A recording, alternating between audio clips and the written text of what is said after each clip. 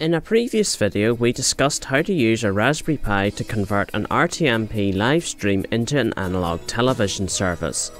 Whilst I was setting up the picture timings on the scope, the observant amongst you might have noticed something missing. That's right, there's no teletext. To put this right, there are two main options. You could install VBit2, download a teletext service, set the service to automatically update, set the service to start on boot, tweak the overscan settings, live with 32 lines missing at the bottom of the screen, or you could do what I did and spend way too much time and effort building a teletext inserter board. The main unit is constructed in pretty much the same way as the IP to analog converter, we have an off-the-shelf sub-rack module kit with a bunch of PCBs mounted to a piece of prototype board.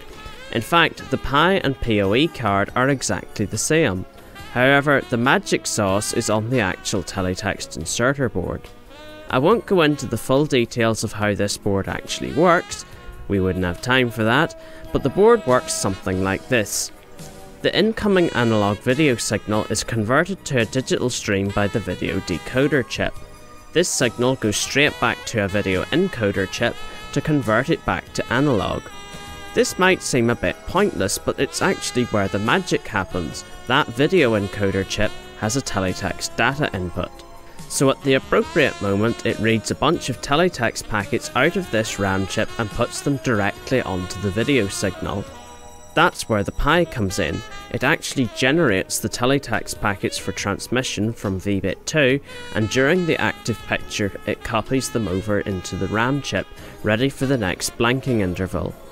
The main advantage of doing teletext insertion this way is that you can use it on any composite video signal.